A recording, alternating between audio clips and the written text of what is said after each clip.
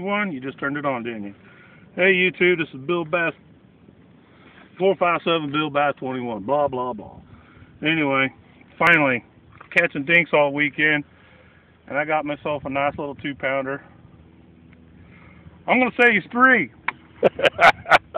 I'm going to let him go. Yes.